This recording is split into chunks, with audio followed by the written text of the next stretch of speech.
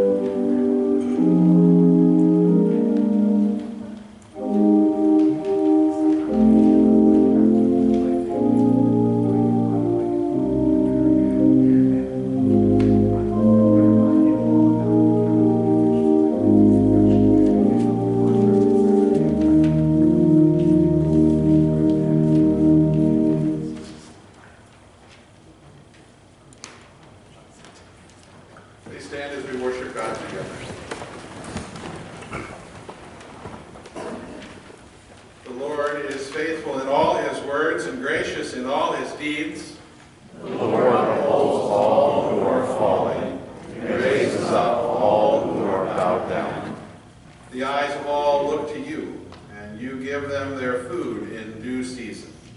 You open your hands, satisfying the desire of every living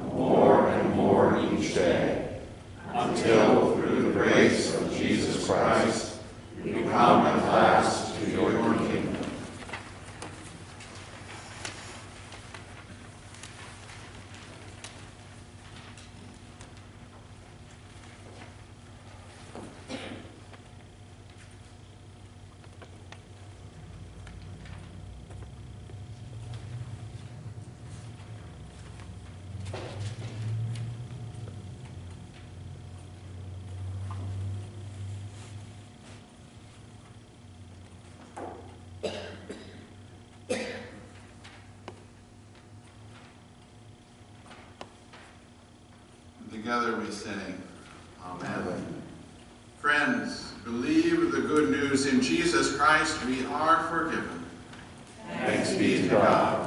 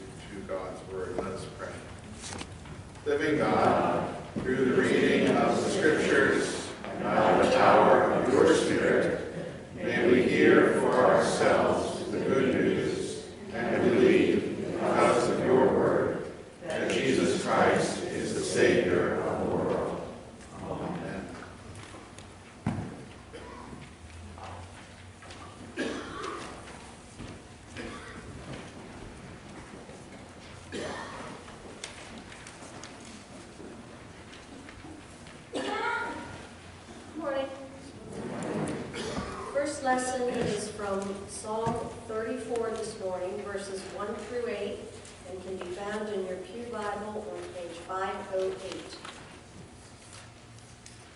I will bless the Lord at all times.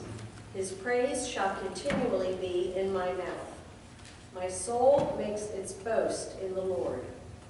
Let the humble hear and be glad. O magnify the Lord with me, and exalt us, and, and let us exalt his name together.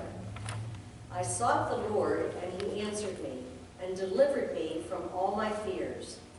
Look to him and be radiant, so your faces shall never be ashamed. This poor soul cried and was heard by the Lord, and was saved from every trouble. The angel of the Lord encamps around those who fear him and delivers them. O taste and see that the Lord is good. Thanks be to God. Whoops, Lord of the world. Thanks be to God.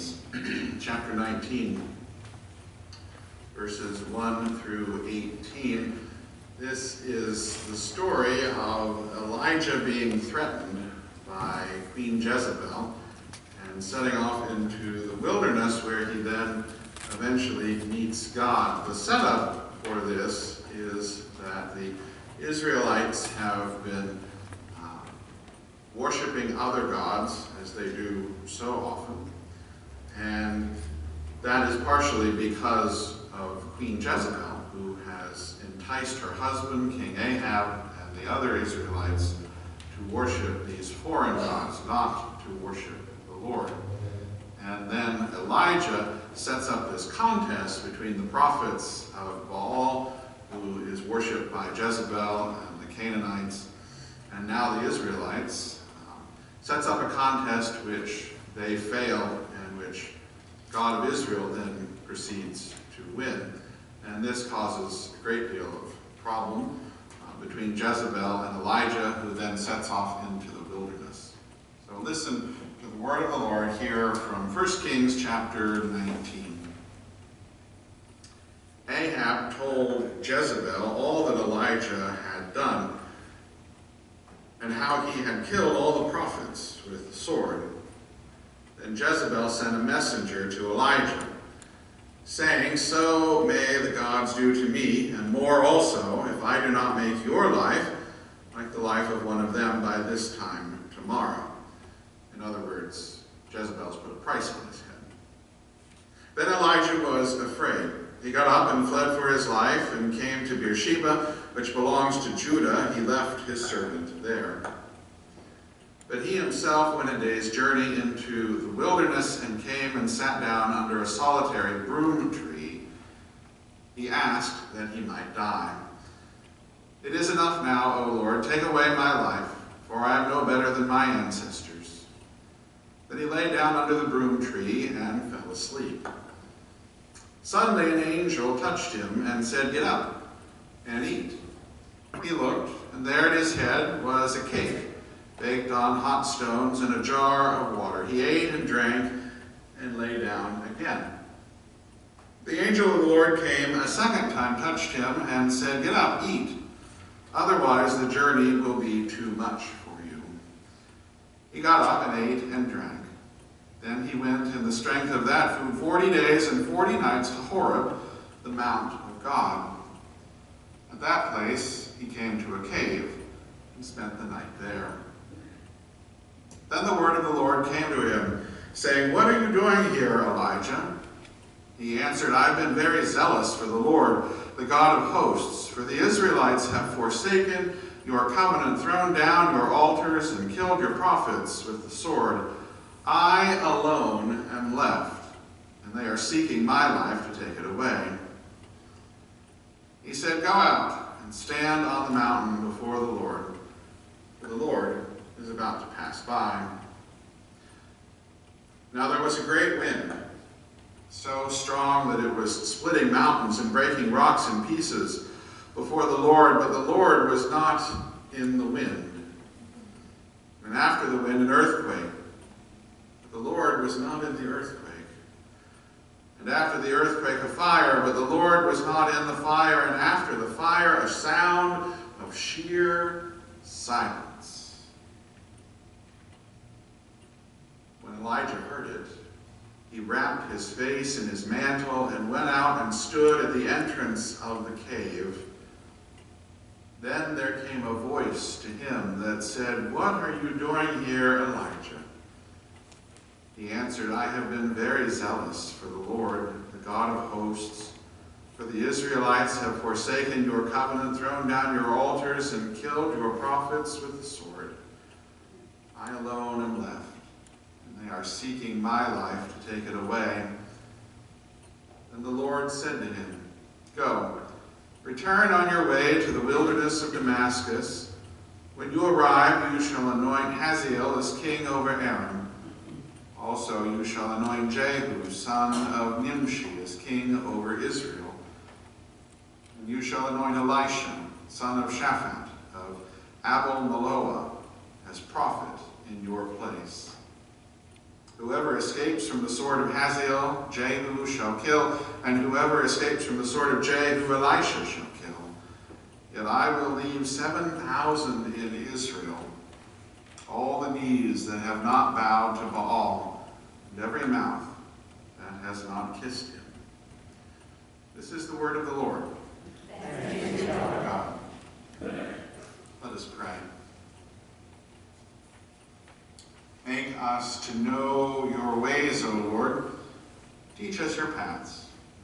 Lead us in your truth and teach us, for you are the God of our salvation, and our hope is in you all day long. Amen.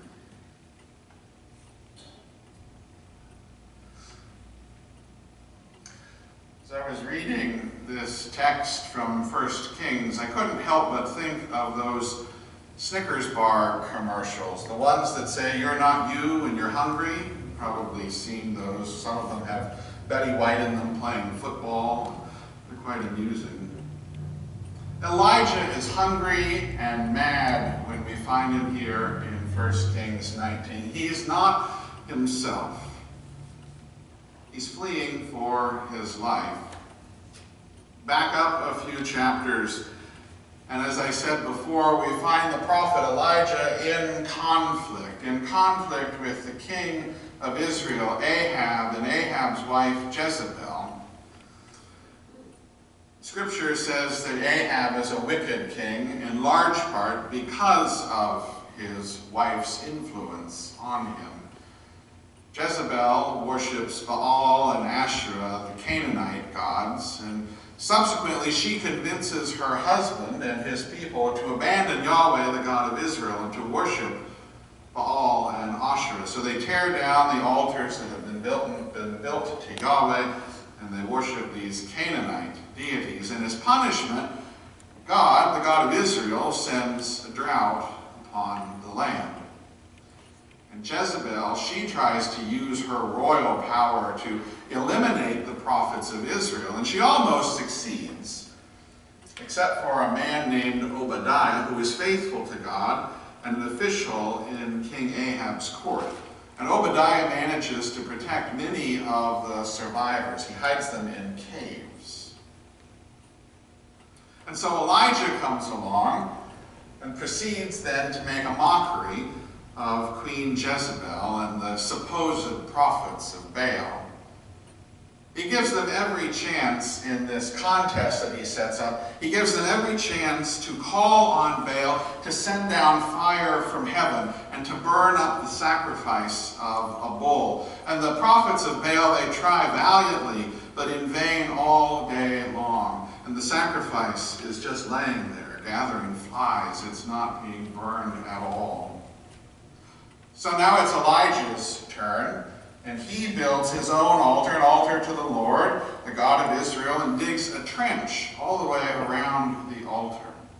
And then he cuts the bull into pieces, and he puts the pieces on the altar. And finally, he has the whole thing drenched, soaked in 12 buckets of water before he calls on the Lord God of Israel who sends down fire to consume the whole thing the bowl, the wood, the stones, the dust, even the water that has collected in the trench around the altar. And at the sight of this, the people of Israel fall on their faces and worship God once again. Then Elijah has the prophets of Baal seized and executed. And this really angers Queen Jezebel.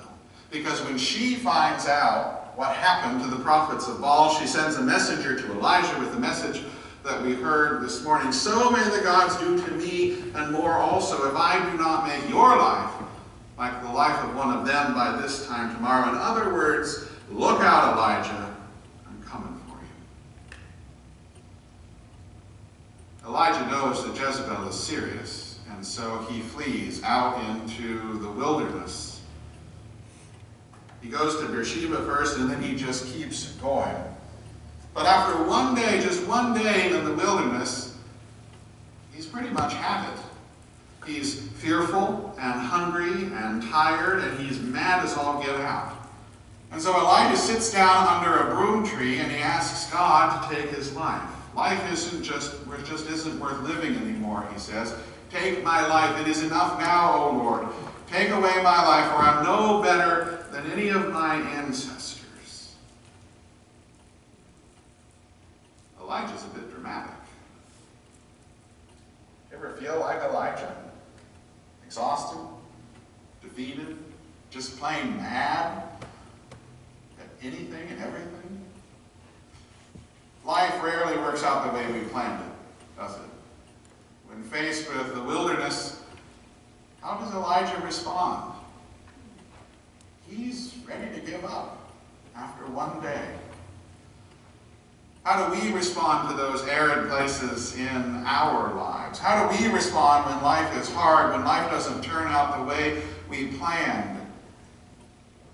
Are you like Elijah, ready to give up? Or is there something more? Elijah has a fascinating career as a prophet. If you keep reading in the books of the Kings, you will see all that he does. He continually seeks to be faithful to the God of Israel, but all around him, the people of Israel are increasingly unfaithful to their God. Elijah's been called to be a prophet. It is a particularly difficult journey for him.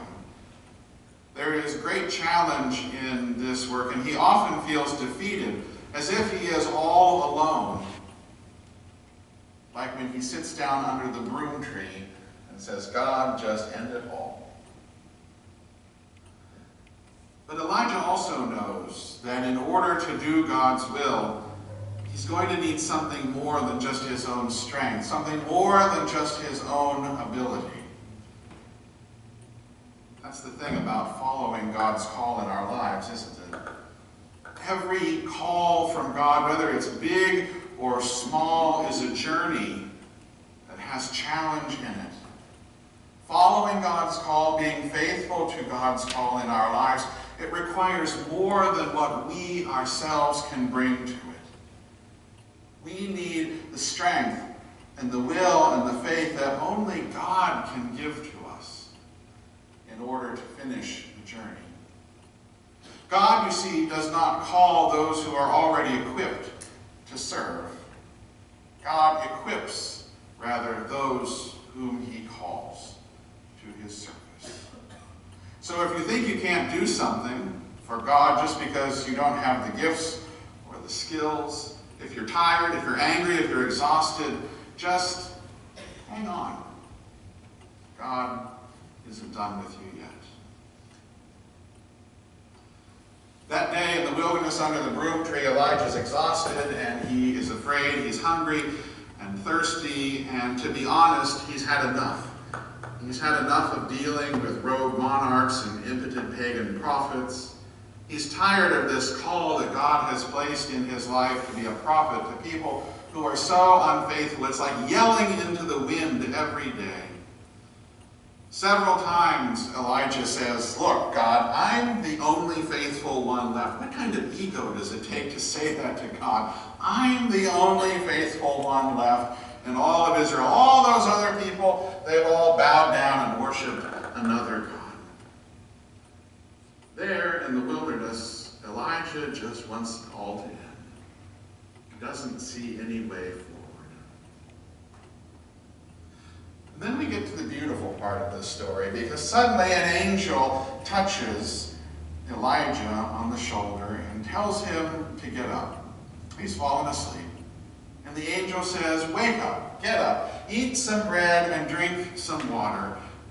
And why don't you take another nap then? And a while later, the second time, the angel comes to awaken Elijah again, saying to him, Eat and drink in order to be strengthened and fortified, because you have a journey ahead of you. And for the next 40 days, Elijah lives on Mount Horeb in a cave. And after 40 days, the word of the Lord comes to Elijah there on the mountain. And after 40 days, Elijah is still refreshed, still fortified, still ready to hear God. There on the mountain, Elijah meets God. Not in the wind, not in the earthquake, not in the fire, but in the sound of sheer silence. And in that moment, God gives Elijah his marching orders. Chin up, Elijah. Your work is not yet finished. There are new kings to be anointed over Aram and Israel. And Elisha, Elisha who will be your successor as prophet, well, he needs to be prepared and trained and anointed as well. And here's the real kicker, God says. You think you're the only one left.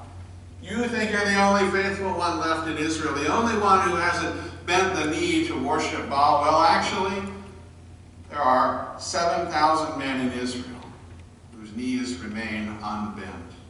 You are not alone, after all.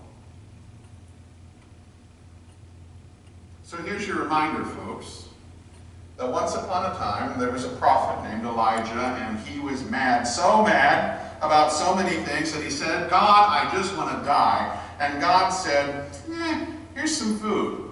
Why don't you take a nap? So Elijah slept, and he ate, and eventually he decided things weren't so bad after all. All this is to say, you shouldn't underestimate the spiritual power of a nap and a snack. because we humans aren't designed to go, go, go 24 7. Yet that's increasingly how the world works these days, isn't it? We were built to work and to rest. And we need proper nourishment and we need communion with God in order to be our best selves. Failure to rest can absolutely interfere with our ability to hear God and to respond to God's call. There's nothing wrong with an honest day's work, but there is something wrong when we don't take a break, when we don't rest, when we can't find a Sabbath and a snack. I once heard a couple of pastors talking, and one of them said, I don't take a day off because the devil never takes a day off. And I have to fight the devil. And the other pastor said, I'm not sure, but I think you might want to look for another role model.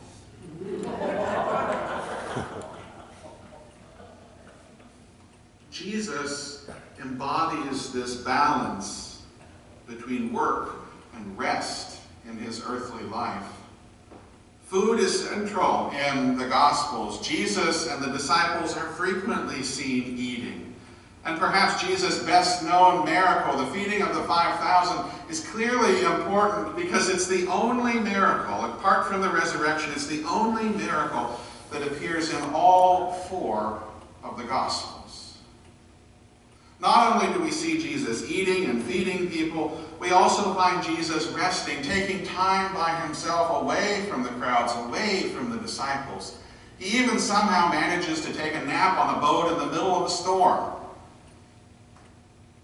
In the Gospels, we also see Jesus taking time to pray, to commune with his heavenly Father. Even on his last day, as the Roman guards are approaching and as he's sweating those great drops of blood, Jesus prays in the Garden of Gethsemane, Thy will be done. Jesus shows us that following God's call is a journey of great challenge. It requires more than we have to bring to it in terms of our own strength and our own ability. We need the strength and the will and the faith that only God can give to us. When Elijah was exhausted, when he'd had enough, when he was ready to die, God provided for him. When we're exhausted, when we've had enough, when we're ready to give up, Jesus bids us to remember. He's been there before. He's here with us now. So take a nap. Have a snack. trust in God's provision. Amen.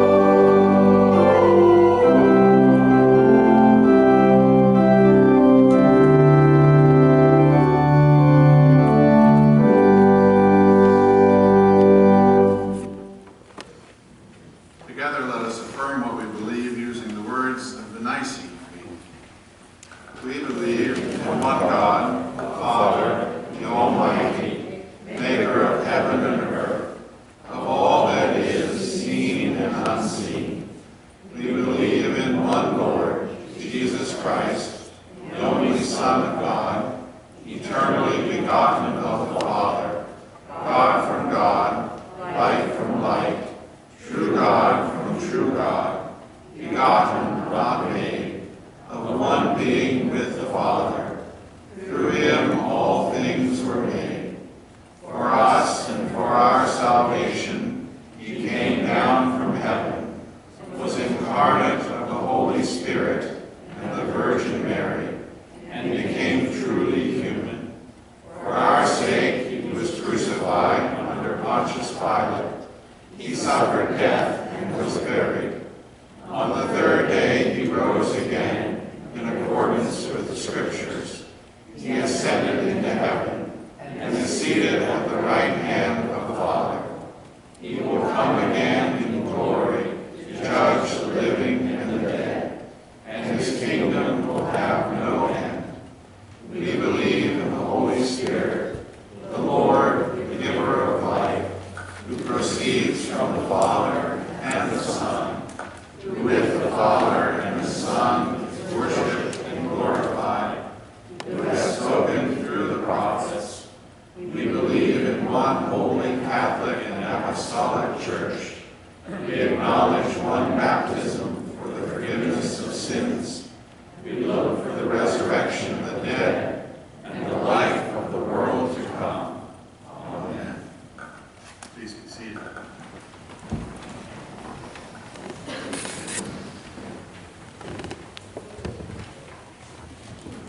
Let us join our hearts and minds together as we go to God in prayer.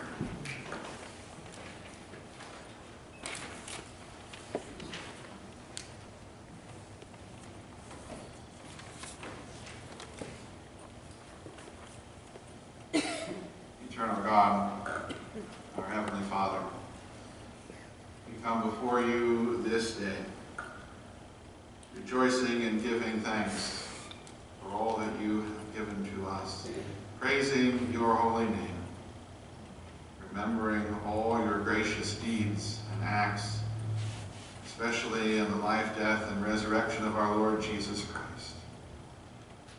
We come before you knowing that you have called us to be your people, that you call us by name and claim us as your own in the waters of baptism. You are our God, and we are your people, the sheep of your fold. And as we come before you today, O God, we come knowing that we can bring to you all of our prayers, all of our fears, all of our dreams, all of our worries, all of our anxieties and joys, all that we have, all that we are, O God. We know that we can bring these to you. And we know, O God, that you will indeed hear our prayers. So this day, O God, for all those who are rejoicing, we rejoice with them. For all those who have received good news, we give thanks and we rejoice. For all those who come this day who are anxious and fearful, O God, we come in solidarity with them, for we too know what it is like to be fearful and anxious people.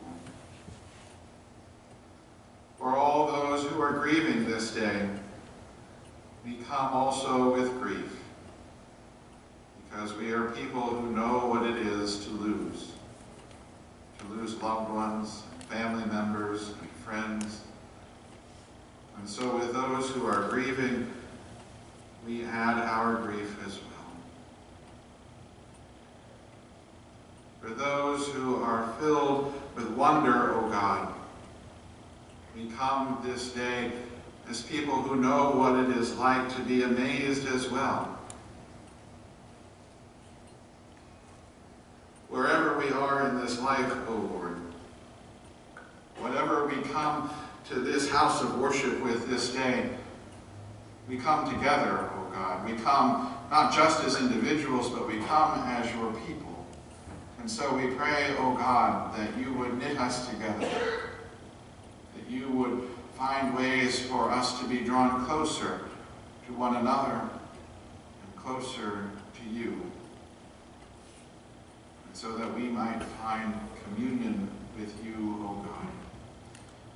When we are tired, O Lord, give us rest, give us provision. help us to remember that rest is not a bad thing. It is something you have given to us that we might be refreshed and restored. Lord, when we are doubtful, help us to trust. Enable us to remember that you call men and women to your service. And though the journey is often difficult, you are there along the way. You offer your provision in the wilderness, on the side of the road, wherever we might be. And so in all these things, O Lord, remind us of your great love in Jesus Christ. Enable us to seek the ways of peace in this world and to live as your faithful disciples. For we pray in Jesus' name, as he taught us to pray, saying, Our Father, who art in heaven, hallowed be thy name. Thy kingdom come, thy will be done, on earth as it is in heaven. Give us this day our daily bread, forgive us our debts, as we forgive our debtors. And lead us not into temptation, but deliver us from evil. Thine is the kingdom, the power, and the glory forever. Amen. We have the opportunity to give back to God a portion of what God gives to us. The offering plates are at the doors and exits for your use today. I invite you now to take this time to consider God's generosity and your response to